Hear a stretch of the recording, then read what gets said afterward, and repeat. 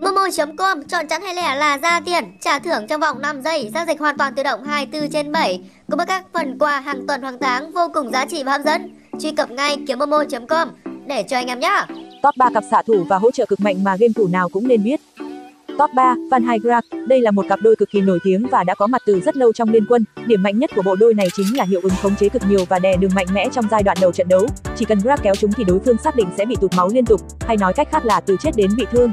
Ngoài ra, cặp đôi này cũng rất mạnh trong các pha bắt người, combat nhỏ lẻ ở giai đoạn về sau, vậy nên nếu muốn hủy diệt đường rồng của đối thủ từ sớm thì cặp đôi này là một lựa chọn không tồi. Tuy nhiên Van Hygraf cũng gặp khá nhiều bất lợi nếu để trận đấu kéo dài quá lâu, bởi đơn giản cả hai đều không phải là chất tướng net game. Ngoài ra, hai vị tướng này cũng rất dreamer mỗi khi đi với nhau nên game thủ liên quân cũng khá rẻ chừng.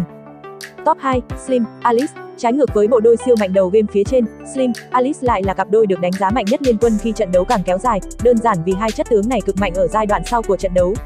Thả diều đối thủ không thể bá đạo hơn, đầu trận, Slim và Alice khá yếu nên cần thủ và farm tối đa có thể, để tích lũy tài nguyên, có được cấp độ và trang bị ổn. Đây cũng là cặp đôi hỗ trợ ganh khá tốt khi có hai chiêu thức khống chế rất lâu, là lao cơ khí của Slim và vụ nổi thời không của Alice. Còn khi đã có đủ trang bị, Slim được Alice hỗ trợ, khép góc, sẵn sàng bắn nát mọi đối thủ với lượng sát thương theo phần trăm máu của mình. Top 1, Hildur, Elsu, đây có thể xem là một cặp đôi xạ thủ và trợ thủ khó chịu nhất game, đạt sức mạnh từ đầu trận đến cuối trận và rất khó để ngăn cản nếu rơi vào tay cao thủ, với tầm sử dụng chiêu thức cực xạ.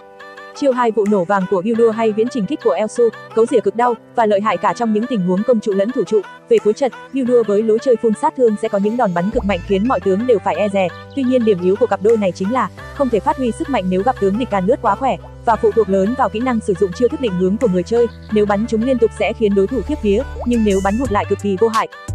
Liệu có còn những cặp đôi xạ thủ trợ thủ nào mạnh mẽ nữa không? Hãy để lại ý kiến của bạn ở bên dưới. Đừng quên like và đăng ký kênh ủng hộ mình với nhé.